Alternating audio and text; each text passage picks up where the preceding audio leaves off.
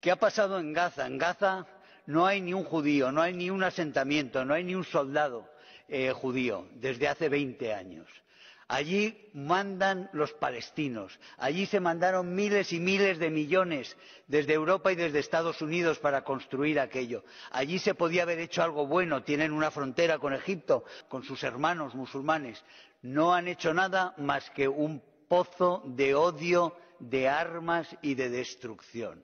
Eso es lo que ha habido allí.